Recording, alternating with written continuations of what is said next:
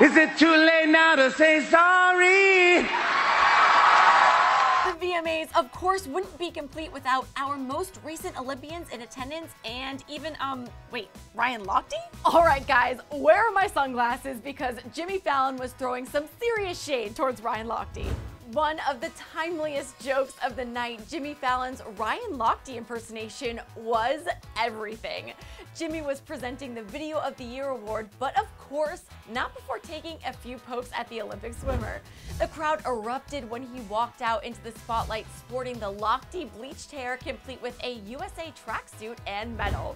We all know Lochte for his outlandishly exaggerated stories, and Jimmy followed suit saying, quote, that's my jam, after singing a line from Justin Bieber's Sorry song, continuing, It should be my jam, I wrote it. The comedian continued, I directed all five nominees. What an amazing year I've had. I taught Drake the Hotline Bling dance. I made lemonade with Queen Bey. Oh, and it didn't end there. Check this out. Anyway, who had the best video of the year? I, I can't tell you that. They're all so great and so talented, I could never choose. I couldn't tell you even if there was a gun to my head. Wait.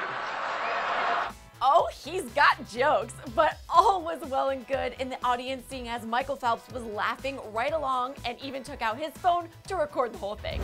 What do you guys think of Jimmy Fallon's hilarious Lochte impersonation? Let me know in the comment section below or feel free to tweet me at Meg LaMontagne.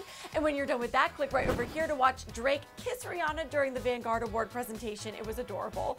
Thanks so much for checking in with me. I'm your host, Megan LaMontagne, and don't forget to subscribe to Clevver TV for more videos.